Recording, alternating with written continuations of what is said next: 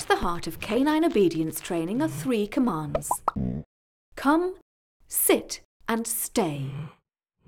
These three commands are essential for responsible pet ownership and can be taught through two simple exercises sit and stay, and come and sit. To start the sit and stay exercise, stand with your dog on your left hand side, with his lead held firmly in your left hand. Now look down at him and command him to sit.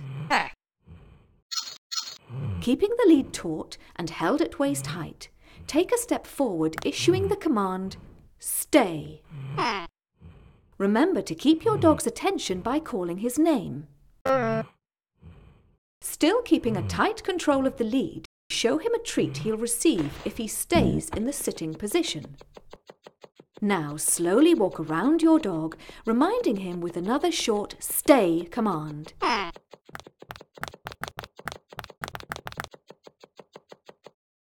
You can now reward him for staying. After a few sessions, you should be able to let go of the lead and your dog will stay. Each time he does this, reward him again with a treat.